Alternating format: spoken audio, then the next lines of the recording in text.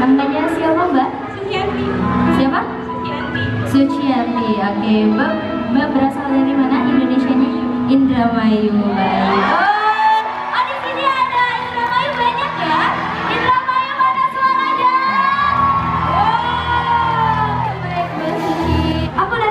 Mbak Suci ini dia keren banget dia menikmati bisa begini.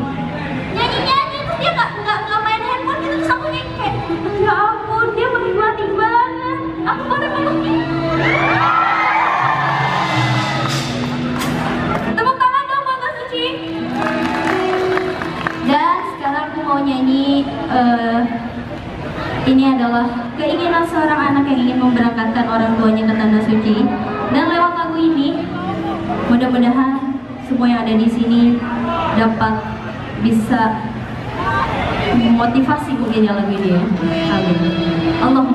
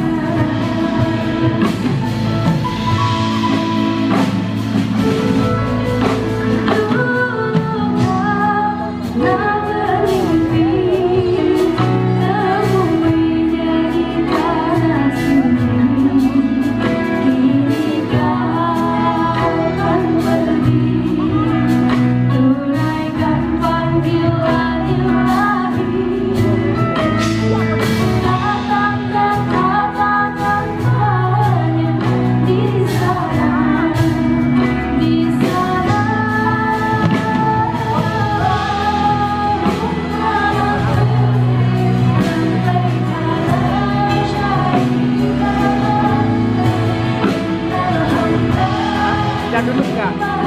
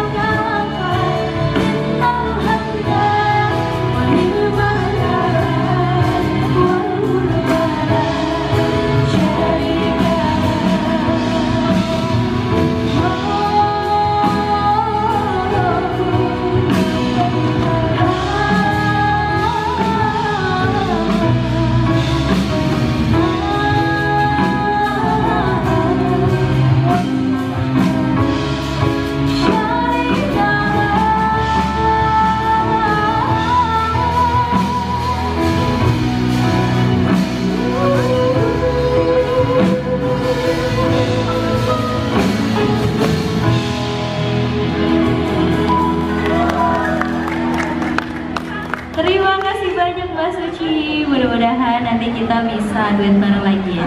Oke, sekarang aku mau foto sama Mbak Suci boleh? Boleh. Oke, sekarang keluarin handphonenya Mbak Suci. Mbak Suci juga mau foto? Oke, oke, aku aja yang pegang ya.